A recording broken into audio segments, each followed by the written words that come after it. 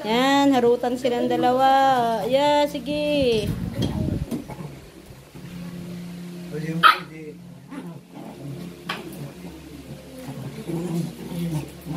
Ala, sige.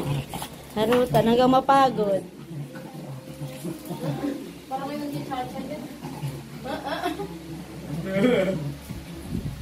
Sino ang mananalo?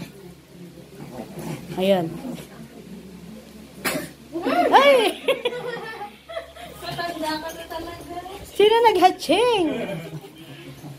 Ang queen-queen namin. Oh, dali. Laban, ayan. Uy, grabe ah. Walang kapaguran. Tama na yan.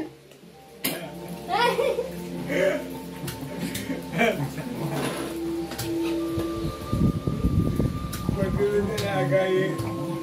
Dahil, ang kuwet. Playful to si Twinkle kasi nakalagay doon. Pero si Queen seryoso. Ayan, labas sa dila. Pagod na. Tama na yan, tama na.